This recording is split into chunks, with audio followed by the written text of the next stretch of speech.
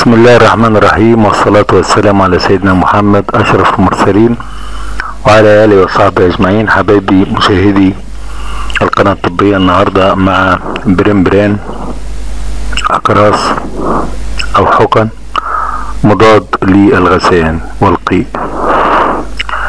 آه، بريمبرين آه، أقراص وحقن مضاد للقيء والغثيان هو عقار آه، له تأثير على حركة المعدة. ينتمي لعائلة مضادات الدوبامين. والدواء يستخدم كمضاد للقيء والغثيان والمادة الفعالة في الدواء هي مادة ميتو كلوبراميد هيدروكلوريد. وأثبت فعاليته في علاج آه، أعراض القيء والغثيان لدى البالغين. آه، مكونات بريمبرين آه، تحتوي على نسبة عشرة point five عشرة ونص ملي جرام من هيدروكلوريد الميتوكلوبراميد تنتمي إلى مضادات الدوبامين التي تساعد على تخفيف الشعور بالغثيان. دواعي استعمال بريمبرين آه، علاج الحرقان الذي يوجد في المعدة وهو الناتج عن ارتجاع المعدة والمريء. يتم استعمال الدواء في جميع الحالات التي تميل للقيء والغثيان علاج جميع الحالات آه، التي فيها ارتداد للحامض المعدي والتهاب المعدة والاثنى عشر. أيضا يوجد حقن بريمبران للولادة تستخدم قبل الولادة بفترة قصيرة من أجل تسهيل عملية المخاض وتقليل الألم الذي تشعر به الام أثناء عملية الولادة. حقن بريمبران بريمبران تفتح الرحم. المادة الفعالة الموجودة في الدواء لها كثير من فوائد في المرحلة الأولى من المخاض لأنها تساعد على فتح الرحم والتخفيف من آلام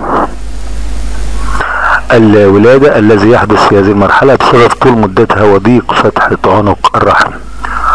آه، وحقن بريمبران قبل الولا- الولادة تقوم بفتح الرحم وتستخدم هذه الحقن في الفترة الأخيرة من الحمل وتساعد على توسيع عنق الرحم وتسهيل الولادة.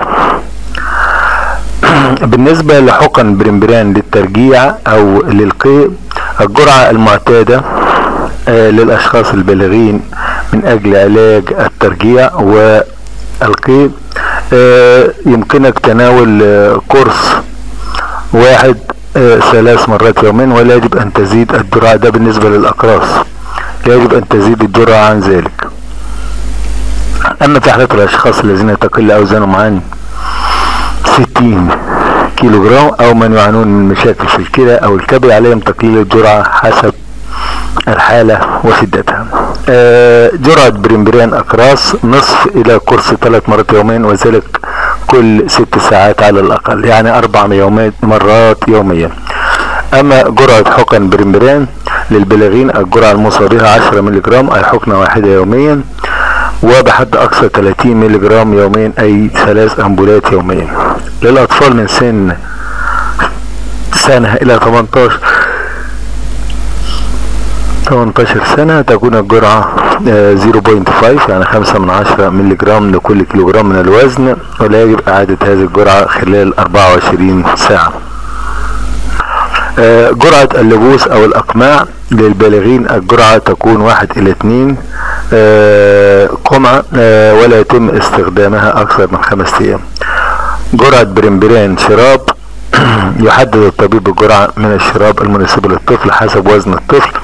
والجرعة تكون من خلال أخذ آه، 15 ملي جرام لكل كيلو جرام من وزنه ويتم تقسيم الجرعات على مدار اليوم ثلاث مرات يوميا. في سؤال يطرح نفسه هل حقن بريمبران عضل أم وريد؟ يمكن استخدامها آه، للحقن في العضل, أو في الوريد. بريمبران أقراص آه، قبل الأكل ينصح بتناول هذا الدواء. البريمبران أقراص آه، أو استخدام الحقن عن طريق الوريد أو العضل و آه، آه، استخدام الأقراص قبل الطعام. يبقى ينصح باستعمال الأقراص بريمبران قبل الطعام. طيب إيه هي الآثار الجانبية لبريمبران يحدث للمريض ميل للنعاس وإحساس بالتعب وشعور بالدوخة والصداع وفي بعض الأحيان شعور بالرعشة الذي توجد في الجسم ويحدث للمريض. حالة من الإسهال وانتفاخ في البطن وغازات وفي بعض الأحيان اضطرابات في الدورة الشهرية وقد يحدث أيضا انخفاض في ضغط الدم ولكن كما قلنا سابقا آه آه هذه الحالات إيه؟ تكون نادرة الحدوث. احتياطات وموانع استعمال برمبرين يتم منع استعمال الدواء تماما لجميع الأشخاص الذين تقل أعمارهم عن 18 سنة. ويمنع استعمال الدواء. جميع المرضى الذين يعانون من وجود حساسية شديدة لمكونات الدواء. ويحذر مع المرضى الذين يعانون من وجود قصور في الكلى أو الكبد. ويمنع استعمال الدواء في حالة الإصابة بمرض باركنسون. ولا يستعمل الدواء في حالة الإصابة بالصرع. ويتم منع استعمال الدواء في حالة الإصابة بنزيف أو انسداد أو انزلاق في الأمعاء. ويحذر في حالة الإصابة بورم في الغدة الكظرية. التي ترد بجانب الكلى ويمنع استعماله في حالة الإصابة بالصرع آه بالنسبة لحقن برمبران هل لها تأثير على الحمل؟ لا توجد أدلة على مدى ضرر هذه الحقن في فترة الحمل سواء الأم أو الجنين ويمكن استخدامها تحت إشراف طبي. برمبران للرضع يستخدم مع الأطفال فوق العمر السنة وليس قبل ذلك برمبران والرضاعة يمكن تناوله في فترة الرضاعة طبعا من جانب الأم لأن المادة الفعالة الموجودة به تمر بكمية قليلة في لبن الأم ولكن إذا لاحظت الأم أي أعراض على الطفل عليها التوقف عن تناول برمبران آه وهذه الأعراض مثل النعاس والنوم لفترات طويلة بشكل غريب لابد حينها التوقف عن تناول برمبران بالنسبة للسعر برمبران آه برمبران آه واحد من عشرة جرام لكل مية ملي آه ده تمانية جنيه وخمسة وعشرين من مية يعني تمانية جنيه وربع. وبرمبران عشرة ملي جرام أقراص بستة جنيه خمسة وسبعين. وبرمبران عشرة ملي جرام بتسعة جنيه. وهكذا. بديل برمبران يوجد بدائل لبرمبران مثل أماتيك وميكلو برام وميتو كلو براميد وكلو برام وأدوية مثل هذه الأدوية. طيب. آه يعتبر دواء برمبران من أكثر الأدوية الشهيرة في الصيدليات والأكثر استخداما في علاج حالات القيء والشعور بالغثيان. استعد الحالات آه القيء والغثيان من الحالات المزعجة للغاية والتي تؤدي إلى تعرض الفرد أو الشخص لأضرار صحية. ويحتوي الدواء برمبران على مادة فعالة ميتوكلوبراميد مضادة للقيء وتعتمد طريقة عملها على تثبيط تأثير الدوبامين ومنع ارتباطه بالمستقبلات الخاصة به. اذا كما قلنا سابقا إن دواء استعمال برمبران قيء وغثيان تخفيف من اعراض اضطراب الجهاز الهضمي آه والمعدة المصاحبة لجلسات العلاج الاشعاعي والكيماوي عند مرضى السرطان وعلاج عسر الهضم واستخدامه كدواء مساعد في علاج التهابات المعدة. ويمكن أن يساعد في تنظيم معدل ضربات القلب الذي يتأثر بالقيء أو الغثيان. آه هل يستخدم برمبران لعلاج ارتجاع المريء؟ يمكن استعمال برمبران أنبول لتخفيف آه أعراض ارتجاع المريء حيث يعمل على تنشيط حركة المعدة بالإضافة لعلاج القيء والغثيان وبهذا يتم منع وصول الحمض المعدي إلى المريء. آه مثل ما قلنا سابقا يتركب الدواء من المادة الفعالة اللي هي هيدروكلوريد ميتوكلوبراميد هي مضادة للقيء. آه ويوجد به مواد أخرى مساعدة مثل آه نشا الذرة وسيترات المغنيسيوم وسيليكا لا مائية الأشكال الدوائية يتوفر دواء برمبران لعلاج القيء في أشكال دوائية مختلفة مناسبة للبالغين ومناسبة للأطفال. في أقراص برمبران تركيز آه خمسة ملي جرام وعشرة ملي جرام وفي حقن برم برمبران تركيز خمسة ملي جرام لكل ملي.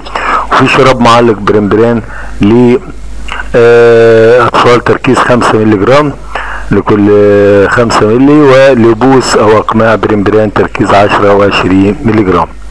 أضرار تناول برمبران هناك بعض الأضرار أضرار الصحية التي يتعرض لها فئة قليلة من الأشخاص عن استخدام برمبران وتتراوح الأعراض الجانبية بين الخفيفة والحادة تبعا لتفاعل الجسم مع المادة الفعالة للعقار أو تحسسه للتركيب الكيميائي. آه آه أيضا الاصابة بالحساسية المفرطة لمكونات الدواء وانخفاض معدل ضربات القلب آه والشعور بالتعب والإرهاق واضطراب موعد الدورة الشهرية واضطراب عصبية مثل الشعور بالاكتئاب وعدم انتظام ضربات القلب ضغط الدم ونوبات حادة من الإسهال والإمساك ورغبة شديدة في النوم وتعرق الجسم. كل هذه آه أضرار يمكن أن تحدث من تناول برمبرين آه كما قلنا سابقا أيضا موانع الاستعمال الأطفال الذين تقل عمرهم عن 18 سنة المصابين بحساسية لمكونات العقار والمصابين بمشاكل في الجهاز الهضمي والذين يعانون من أنيميا أو انخفاض مستوى الهيموجلوبين في الدم ومرضى ضغط الدم واضطرابات الغدة القذرية والذين عندهم عدم انتظام في معدل ضربات القلب والمصابين بمشاكل في الكبد أو الكلى. وأيضا المعرضون لنوبات صرع أو الشلل الرعاش آه بعد كده بالنسبة لبرمبران يمكن أن نقول أيضا إن برمبران هو أحد الأدوية الهامة التي التي يتم استخدامها بكثافة في الصيدليات لعلاج القيء والغثيان حيث أنها تعمل على زيادة حركة الجهاز الهضمي وزيادة تقلص العضلات مما يؤدي إلى سرعة تفريغ المعدة من الطعام وانتقاله إلى الامعاء وتوجد في أكثر من شكل صيدلي أقراص وأقماع وحقن وشراب. و تساعد المادة الفعالة فيه اللي هي ميتوكلورو براميد في زيادة حركة عضلات الجهاز الهضمي دون التأثير على الإفرازات مما يزيد من تفريغ المعدة إلى القولون. آه بجانب علاج القيء والغثيان الناتج عن الصداع النصفي أيضا ومضاد للقيء والغثيان الناتج عن العلاج الاشعاعي الكيميائي لمرضى السرطان ويستخدم في تفريغ المعدة قبل العمليات الجراحية. ويساعد في علاج الارتجاع المري ويساعد لعلاج ركود المعدة بعد إجراء العمليات الجراحية. آه يمكن أن يكون هناك اثار جانبية مثل الشعور بالدوخة والصداع والخمول واختلال حركة الجسم وخلل في ضربات القلب وخلل في ضغط الدم. والتفاعلات الدوائية يتفاعل برمبرين مع بعض الأدوية يقل يقلل تأثير بعضها ويزيد من تأثير بعض الأدوية الأخرى. آه ولذلك يجب الرجوع للطبيب في هذه الحالة عند تناول أدوية مثل المضادات الحيوية عائلة السايكلوسبورين ودواء الديجوكسين لعلاج ضعف عضلة القلب والفينوثيازين والليثيوم ومضادات المسكارين والأفيونات والباراسيتامول والأسبرين. والكحول. وفي نهاية هذا الفيديو أرجو من حضراتكم الاشتراك في القناة وضغط like إذا أعجبك الفيديو وتشيير الفيديو على وسائل التواصل الاجتماعي فيسبوك وتويتر وواتس واتساب. و رجاء تفعيل الجرس ليصلك كل فيديو جديد عن أي دواء جديد وشكرا والسلام عليكم ورحمة الله وبركاته.